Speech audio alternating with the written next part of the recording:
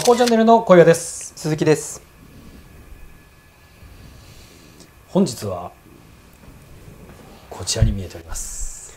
ついに。やっとですね。やっとですね。ついにゴルフ8が発表されました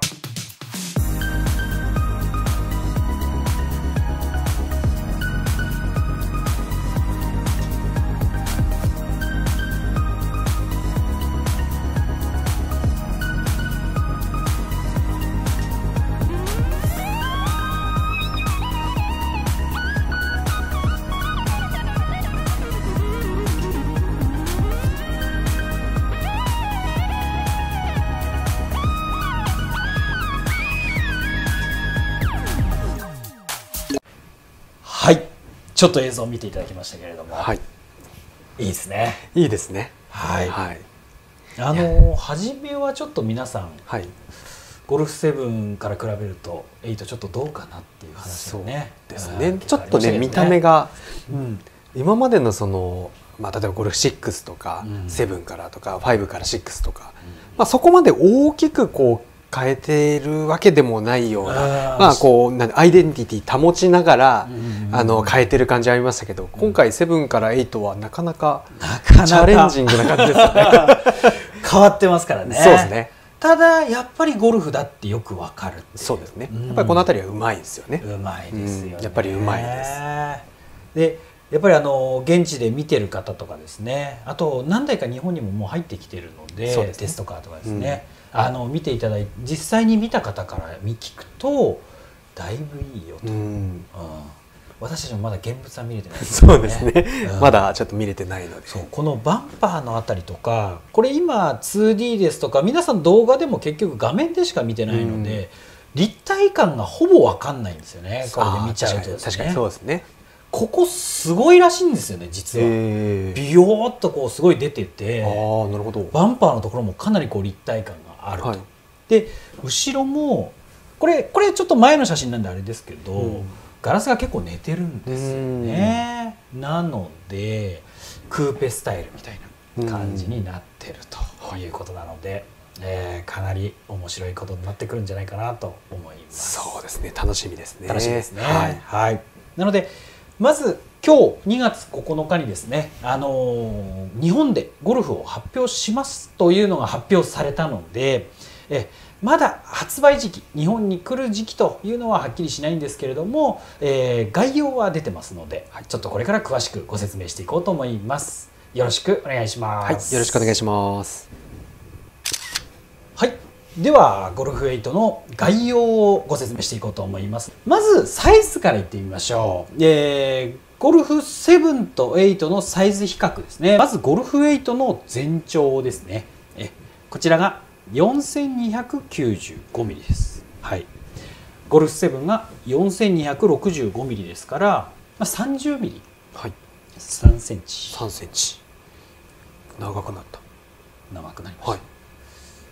どこが長くなったか問題はそこですね。そうだねどこが長くなってるか。なったかですね。はいはい。で全幅はいはいが、えーゴルフ8が1790ミリ、はいでゴルフ7が1800ミリです。はい。短くなってる。これはあ目指すまあまあ狭く幅狭くなってるって感じですね。なってるんですよねこれはいいですよね。いいですよね。やっぱりまあ180超えてくるとちょっとこうなんでしょうお一気に大きくなった感があるじゃないですか。うんだね。でどんどんどのメーカーもどんどんこう巨大化していってる中でうん1センチ下がるとうんやっぱりあのまあまあ1センチなんで両側0.50.5って考えたらちょっとですけど、ね。車のその1センチ2センチの違いってうんうん。結構変わりますからね。大きいからね。はい。ね。うん。はい。で私たちとしては大きくしないでくれたっていうのはすごいありがたいよね。そうですね。これ新型ゴルフ184センチです。と言われてもちょっとちょっとちょっとちょっとっていう。ちょっとそれはってね、それはやめてくれななっちゃうからですね。はい、全高は1475ミリ、はい。でゴルフ7が1480ミリですから 0. 点あまあ5ミリ。5ミリ、ですね。まあはい、ほぼ一緒ですね。ほぼ一緒ですね。ね。はい。ただやっぱり実際さっきもちょっと言いましたけども、み見る見た方から言うとかなり低く見える。ああうん。なるほど。じゃあ、ね、横幅も小さくなってるのに、はい。5ミリ低くなっただけなんだけど、はいだいぶ低く見えるえーやっぱりそのあたりはデザインがデザインうまいんですかね。うん。はい。で後ろがやっぱりクーペスタイルちょっと後ろに下がってるっていう感じなので、ねはいそれが辺がだいぶスポーティーにこうなってる感じじゃないかなっていうところですね。そうですね。はいいやい。やこれも実物楽しみですね、うん。はい。でホイールベース。2620はい。でゴルフ7が2635、はい。ですからまあこれもほぼほぼ誤差の範囲ですね。そうですね。はい。まあ、ホイールベースというのはタイヤとタイヤの間のはい。幅ですね、うん。前のタイヤの中心から後ろのタイヤの中心まではい。という距離になるんですけれども、はい。まあ、1.5センチですから、まあ、こんなこんなもんですよね。そうですね。今長いかなり長い中の1.5ですからね。ねえ。はい、割合で言ったらかなりパーセントこう短短くなったパーセンテージはかなり低いのかなって感じですよね、うん。ですね、うん。ただあのまだ室内長とかが出てないのでそうですね。何とも言えないですけどね、うん。えーただこれで室内が狭くなるということはほとんど考えられないのかなという感じ、はい。はい、というふうになっております、はい。この辺がまず大きさの概要ですね。はい、となります。で続きましてグレードがどうなるのかということですね、はい。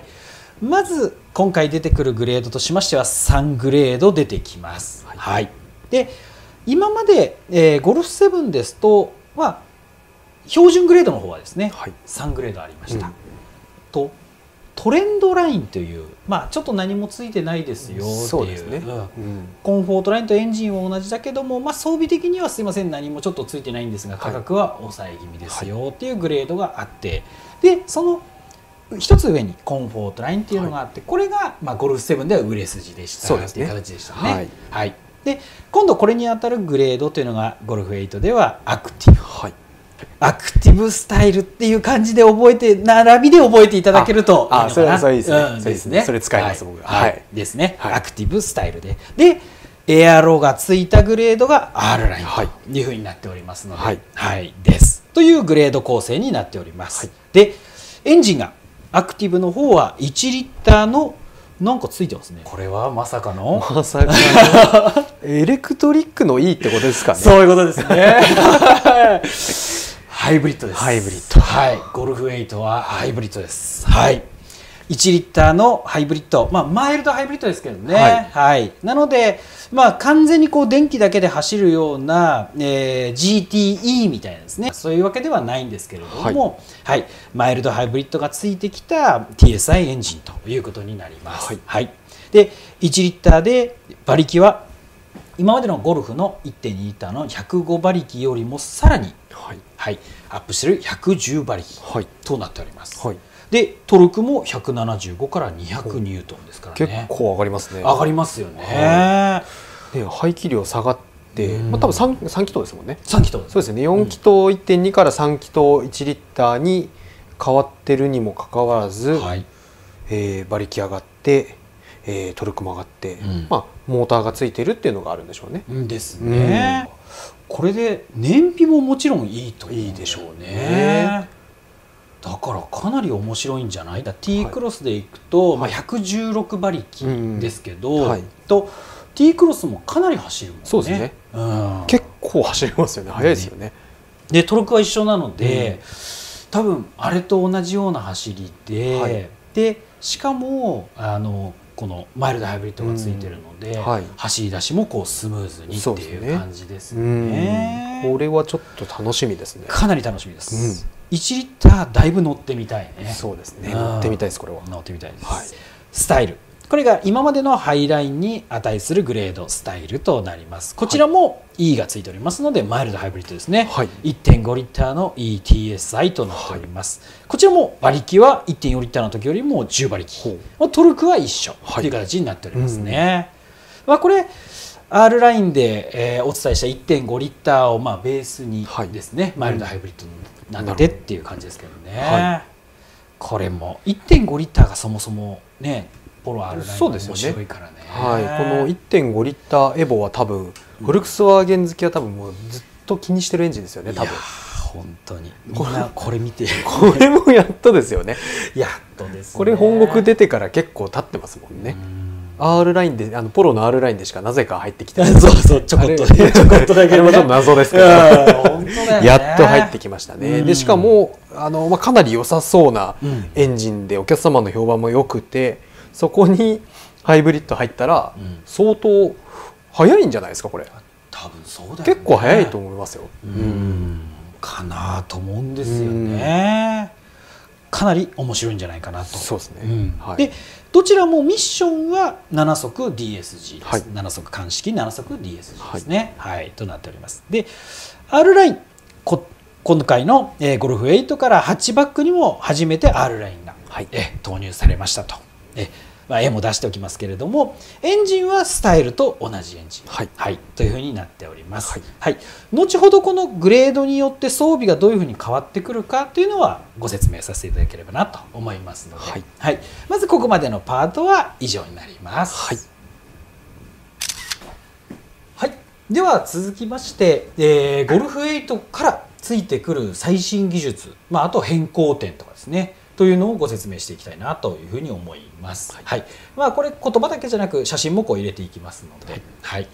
ではまずですね、えー新型のデジタルメータークラスターですね、はい。がついてきます。で今までもねゴルフにもついてたし、そうですね。まあ、今 T6、T クロスにまでついてきましたから、はい。まあ、あのもうデジタルメータークラスター自体はうん珍しいもんじゃもうなくなってるんですけど、ただえ3世代目って感じですかね。3世代目だよね、はい。っていうことになるんだよね。うんなななのでどっか表示方法が変わったりとかさらに便利になってるのかなっていうところですね、でサイズは、えー今ゴルフが12あの今までのゴルフ7がはい。12.3インチだったのが、まあ、あの T クロスですとか T ロックと同じ、え10.25インチに変わりますね、はい。あのサイズで、えー新しくなりますというふうになってますので、この辺は追ってどういうふうに新しくなってくるかっていうのはご案内させていただこうかなと思います、まあ、海外海外の動画なんかを見ると、まあ、見た目はかなり綺麗なそうですね、うん液晶メーターになってるはいなという印象でしたね。はい。はい、となります。はい、次タッチコントロールです。はい、と物理スイッチが基本的にはもうなくなってみたいです形ね。えーエアコン操作ですとか、えーまあ、ナビの操作ですとか、はい。はい。そういうところにもう基本的にはスイッチっていうものがなくて、うん。まあ、タッチセンサーっていうのはこう触っただけで、はい。こここの本当ホワイトボードじゃないけど黒の板みたいなのがあって、それを触るだけで、まあ、反応してくれるっていう形なんだよね。えになるようーです。ですね。はい。うん。で、えーまああの後ほど詳しくやりますが R ラインになるとこのねねステアリングもはいついてるみたいですね。もタッチセンサーになるので、はい、えー押したかどうかが分かるのかなっていう不安は。その不安はねあるんですよ。そうだよね。だから結局そのライ見るとライトのスイッチなんかもこうダイヤルでカリカリじゃなくて、うんうんうん触る感じじゃないですか、うんだからそこにこう押したそのクリック感ってやっぱりうん。欲しいんですけど、まあ、それ音なのか、うん。なんだかよくわかんないですけど、そうだね。そうですね。振動なのかね。うん、まあなんか感触はあるのかなと、うんあうん。とは。そもそもそも全部オートなのか。ああそうですね。あのそもそもライトとかはね。そもそもボタンを触ることがほとんどない可能性ありますよね,、うん。ね。だから全然問題ないかなとうん思います、す。ぐ慣れます。はい。で続きまして新型インフォテインメントシステム、まあ、新型ディスカバープロですね。はいのここも、えー今この前ディスカバーメディアの動画を出させていただきましたけれども、えーまあ、SIM 内蔵になって、で、えーいろんな通信ができるディスカバープロになりますよっていう、まあ、9.2インチの方がディスカバープロです、はい。この前ご案内した8インチの方がディスカバーメディアなんですけどね、はい。になりますというところなので、ここも、まあ、詳しい情報出てきましたら追ってご案内させていただきたいなと。はい。でこれが、まあ、これも新しい中でちょっと特徴的かなっていうギアセレクトレバーですね。はい、こんな感じ。です。あれがちょっとこうどういう風に動くのかが これもすみません。またすっごいちっちゃい画像で。あ多分こう動くのかな？それでもスライドなのかな？みたいな感じなんで、スライドっぽく見えるかなっていう感じはするんだけどね。あれ自体は動くんですかね？こうあれのポジションが変わるのかああいうあの BM とかあの他の最近のユニシャみたいにこう、うんこうこういう戻る戻る。まあなんかなんていうんでしょう。ススイッチ式というか、うんうんうん。ああいうタイプなのかがちょっと気になりますけどね。あそうだね、うん。確かにね。あとゴミ袋かけれないですね。あそうだね。あティッシュとかね、ゴミ。なんかねすいません。生活感あふれる感じで。よくかけるもんね、あそこに、ね。あそこにちょっとこうかけたくなっちゃうんですけど。それ無理ですもん。無理ですね。無理ですね、ですね、はい。かけれません、ははい。いそれはご注意ください。すいません。はい。はいすいません。ゴルフエイトからはゴミ袋かけられません、はい。でこれも大事ですね。インテリア、アンビエントライトです、ははい。い今までのゴルフ7もついてましたけどね。そうですね。まあ、みんなついてはいるんですけれども、えーグレードによって基本はもう白。そうですね。で白で申し訳程度にっていう感じですかね。さりげなく。っていう感じでしたけどね、えーかろうじてアルテオンだけが色が変更できるっていう形にはなってましたけれども、えーそれ以外の車種は白。あとグレードによってまあ GTI とかだと赤ですね、っていう形になってましたが、今回のこのインテリアアンビエントライトはこのアクティブですと10色から選べます、はい。スタイルになりますと32色、うん R ラインとスタイルはですねほう。32色からはい。選べますので、もう何色にしたらいいんだか わかんないですね。結局白とかになっちゃう結果ね。結果変える必要ないんじゃないかな。いやでもあの画像見るとがっつり光ってますよね、うん。あのもう雰囲気こう変わるくらい。最近こうメルセデスとかは、うん。あのブワーっとオレンジとか、青とか紫とかに S クラスとかなってるイメージですけど、うん。他のもなってるのかな、うん。でもあれに近いくらいあのがっつり光ってる感じですよね。感じ。写真で見て写真とか動画で見てもそうですけどやっぱり現地で乗られてる乗られた方からすると、はい。かなり光ってます、うん。うん。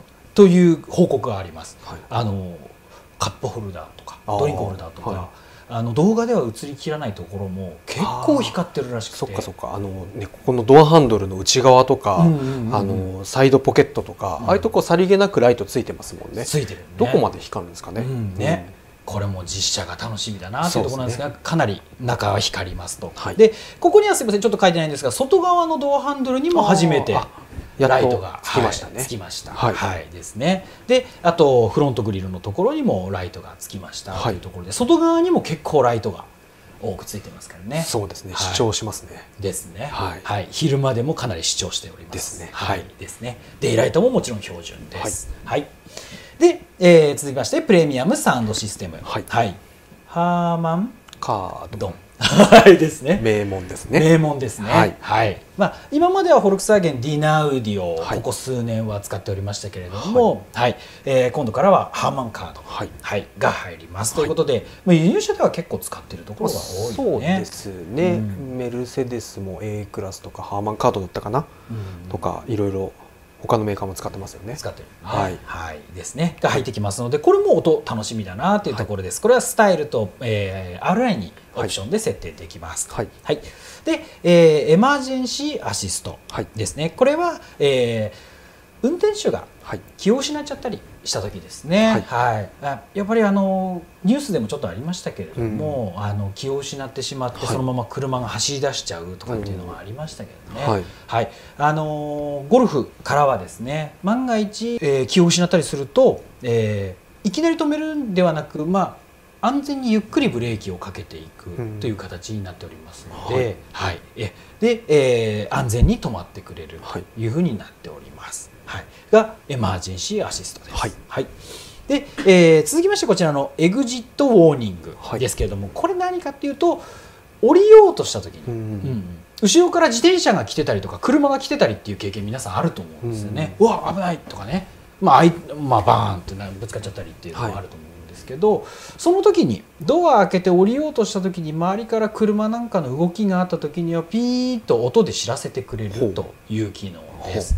続きましてフロントアシスト。これが自転車検知機能が、えついてきますとい。うことで、フロントアシスト自体は今までもありましたよね。ね。はい、ですね。物に反応したり、あとまあ人にも検知するようになって、これがまあ2、3年前ぐらいですよね。ですね。うんはい。うん。人も検知できるようになって、はで人も検知できるけど自転車は検知できなかったんだって俺も逆にちょっと今思ったんだけど、ね。今っていうかあのその資料を見てね。そうですね。僕もなんかいけんのかなって前から思ったんですけど、逆にいけなかったですね。いけなかったんだね、うん。ということは人が乗ってない自転車がいきなり現れても大丈夫ってこと そのシチュエーション怖いですよ めっちゃ怖いですよ。やだそれ。と思って。みたら人がいない人がいない。自転車だけみいたいな。や危なかったってね。人だけではなく自転車も検知できるようになりました。そうですね。というところですね。はい、です、で続きましてトラベルアシスト、まあ、ここはですねあの自動運点とまあ言ったりしますけれども、はい。あの辺がどのどこまでこう進化していくのかって、まあ、だんだん今進化してますよね。そうですね。皆さんね、各社、あのだいぶ進化してますけれども、えーフォルクスワーゲンも今の ACC あとレーンキープをさらにこう向上させて、えーいいものにしてですね、はい。とステアリングに、えー静電気センサーですね、はい。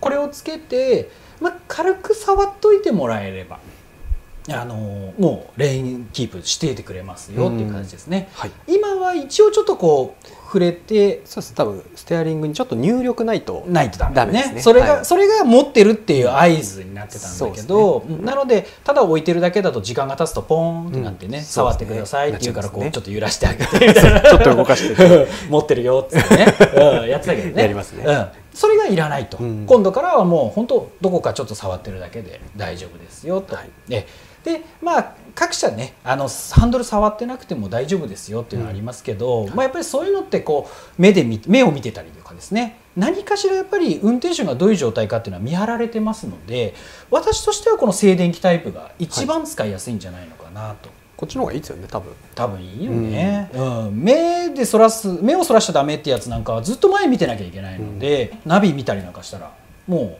もうダメですみたい 逆に疲れますよなね。疲れる。隣の人と話せないですからね。ずーっとこう見てないといけないので。ちょっと目ずらしたら、うん。ハンドル握ってください。うんビーみたいなね、ダメですみたいな、うん嫌だそんな車。嫌です。まばたきもできない ずーっと開けてないずーっと見ない。涙だらけなんですかその 拷問みたいな車な。のでそれで考えたらやっぱり静電気こっちの方が絶対絶対絶対こっち買いますもん。うんこれが理想だと思います、はい。まあ、法律の範囲内でいやれるのはもうここまでが多分限界なので。あそうですね。うん。もうあとはもう手放ししていいっていうのはやろうと思えば技術的にはできるはずなんですけど、まあ、やっぱり法律が許さないので。ねはいえーこれを開始するにはもうこれがベストだと思います。はい、というタイプに変わりました。はい。えです。で最後こちら LED マトリックスヘッドライトですね。これはまあ、今までも LED ライトでしかもダイナミックライトアシストってこう自由にライトが動いてくれるとはい。いう機能ではあったんですけれども、今度のゴルフ8からはライトの中に22個 LED ランプが入っててそれが、まあ、22箇所映してくれるんだね。そういうことですよね。だからここあの右下あたりを消してとか、うん。そういうのを自在にやるわけですよね。ね、22分割してここはつけるここはつけないここはつけるとかね。それを左右それぞれにやってくれるっていう形になってますから、まあ、今までよりも逆にもっと照射できるようになるのかなああっていう。そうですね、ん。ちょっと動画見ましたけどすごい本当にこう対向車避けていくとか、うんうんうん。あと前にいる車をうまいことこうこう避けてるんですよね。あすすごいよね。すごいですね。もちろん歩行者とかもねかわしてくれるし、うん。それはカメラで見てます。前をですね、カメラでどういう状況かっていうのを見てライトつけるつけないとかっていうのを選んでるんですけど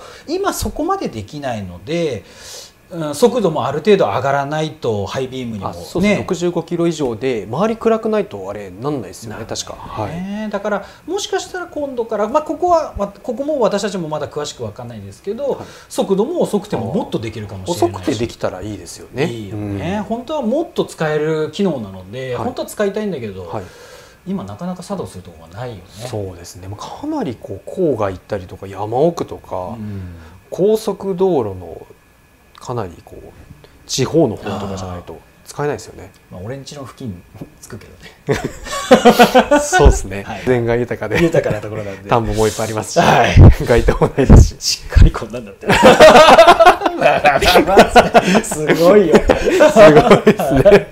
まあ、こ今度はもっとついてくれるんじゃないかなって、いや健太君のうちでもついてくれるんじゃないかなとそうですねはい明るいですはい明るいですからねはいはいというところになります、はい。まあ大まかにですけれどもこの辺が今度ゴルフ8についてくる装備というところになっております。はい、はい。では前半部分こういったところになります。この後後半につながっていくんですけれども後半は江戸川チャンネルで見ていただきます、はい。で、えー今回2月9日に発表させていただきまして予約が開始しております、で、えーこれを見てご興味を持っていただいた方はぜひ予約サイトあとはこの YouTube の概要欄にも、えーサイト貼っておきますのでそちらを見ていただきたいんですけれども、えー実はこの発表記念のイベントというのをやっております。でそのキャンペーンの内容としましては2月から4月に車検を迎えるお客様。これは実はフォルクスワーゲン車じゃなくても大丈夫です。はい、えー他メーカーのお客様でも2月から4月に車検を迎えてどうしても車検取らざるを得ない。ゴルフエイトはそこまでは絶対来ませんから、はい、車検を取らなきゃいけないお客様に対して車検の代金のうち10万円をあのフォルクスワーゲンが負担させていただきますというキャンペーン、まあ、ゴルフを10万円安く普通の方より買えますというキャンペーンですね、はい。になっておりましてあともう一つがアクセサリーを5万円プレゼントというキャンペーンになっておりますので、はい。これは、えー私どもが配布する QR コードから入っていただくかあと概要欄に入あるものから入っていただいて、はい。キャンペーンサイトから申し込みをしていただかないといけないので、はい、これを必ず行ってください。はい。でまたあの店舗ごとにこれは分かれておりますので、えーお客様の、まあ、気になったお店、まあ、私たち和光支店です。和光支店です。はい。和光支店です。はい。多分これ見ていただいてるっていうことは和光支店が気になってるっていうことだと思いますので、まあそういうことですね。多分そういうことですよね。そういうことです。はい。はい。概要欄にありますので、はい。そちらから。ありますか？はい。はい。はい。そちらをクリックしていただければ飛べるようにしておきますので、はい。そこからキャンペーンの申し込みをしていただいて。していただくと、はい。ね和光店で使える、はい。えーキャンペーンになりますので、はい。ぜひキャンペーンを申し込んでいただければなと思います。はい。この辺はまた後半の方でも、え詳しくご説明しておきますのでよろしくお願いいたします。では今日のご説明は以上になります。ありがとうございました。はいありがとうございました